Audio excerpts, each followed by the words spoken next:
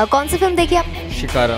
कैसी लगी? सर अच्छे कॉन्सेप्ट है और विनोद चोपड़ा जी की मूवी है और अच्छी लगी स्टोरी काफ़ी अच्छी प्लॉट थी और उसमें एक जो वो दिखाई गई रियलिटी दिखाई गई और ट्रू इवेंट्स पे बेस है मूवी तो बहुत अच्छी फ़िल्म है और मेरे ख्याल से सबको देखना चाहिए फ़िल्म और पिक्चर हर डिपार्टमेंट में बहुत अच्छी है सिनेमाटोग्राफी से लेकर के और बहुत अच्छी फ़िल्म है मेरे ख्याल से। थोड़ा लव स्टोरी डाल दी बाकी तो ठीक है मूवी हाँ दर्शन। जो भी चल रहा है आपके सामने। एंड टाइम में वो ऐसा लगा कि लव स्टोरी ज़बरदस्ती घुसाई है। बाकी जो पहले था, वो भी अच्छी वैसे seven full five stars overall ten में से एट नाइन